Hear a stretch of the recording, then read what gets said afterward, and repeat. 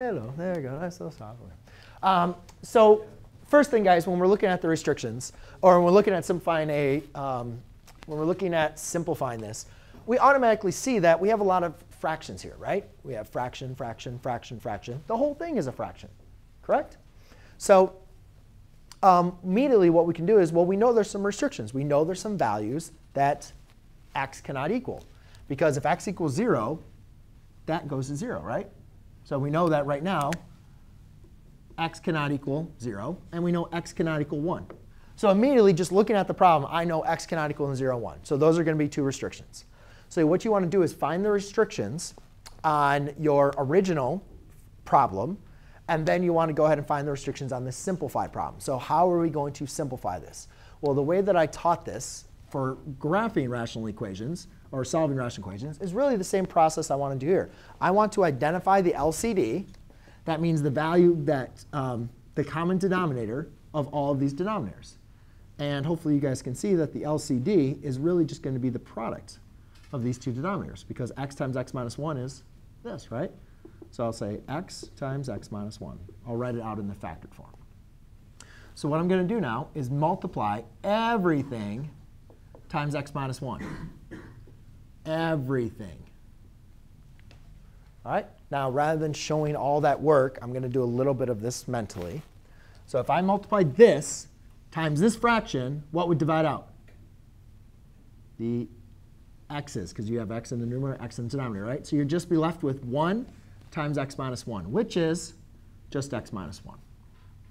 If I multiply this times this, I would be left with just the x. So it's going to be x plus 1 times x. Now be careful. This is a subtraction. So when you put a subtraction there, don't do this. Because what you're going to do is this is subtracting this whole expression. So you'd want to make sure you put that in parentheses. Be very careful with that. Okay?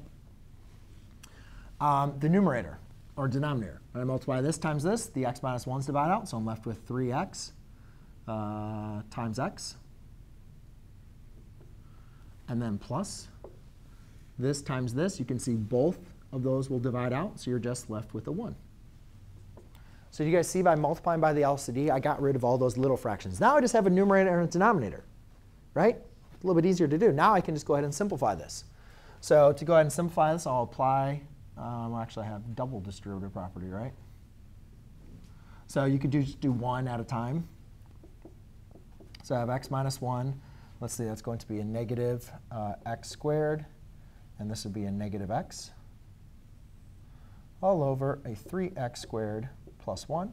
Now let's just combine some like terms. You can see those divide out. So we're left with um, negative x squared minus 1 all over a 3x squared plus 1. All right. Um, now let's go and look at our first. Let's go and yes, question.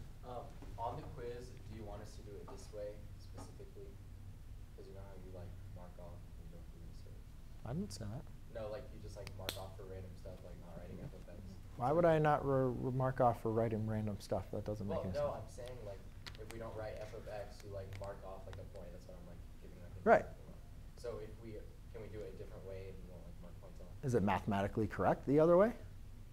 That's what I'm asking. No, is your is the another way mathematically correct? It's the way we learned last year. No, is it if you arrive at the same answer? I as long as I can, as long as you're mathematically arriving at it, I've already said last class period, what I'm showing is not the only way. If you have another method, as long as it's mathematically correct, as long as you're not making something up and you're arriving at some wrong answer, then yes, I, I, I can't mark you off for not doing something.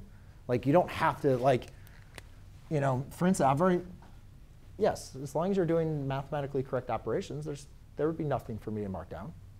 Okay. Um, and therefore, now we look at this. And now the other thing is we want to look at this restriction. Do we have any restriction here? Well, we know that this cannot equal 0, right? So if we set this equal to 0, 3x squared plus 1 is equal to 0, we'd get x squared is equal to negative 1 third. x would equal plus or minus the square root of negative 1 third. Is there any real numbers that makes this denominator equal to 0? No, because taking the square root of a negative number, that's going to be a complex number, right? So therefore, these are our only restrictions. Okay? Another way you could verify this, just real quick, is you could also think of it like this. x minus 1, and sometimes this is an easier approach. For this problem, it's not. But x plus 1 plus 1 over x squared minus x is equal to 0. Because you know that this denominator cannot equal 0.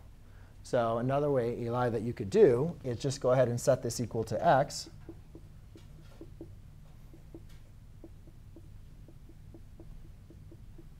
And if you multiply it by x over x, then you'd have 3x squared equals negative 1, and you'd get the same idea, right, that we kind of, your way, I talked about.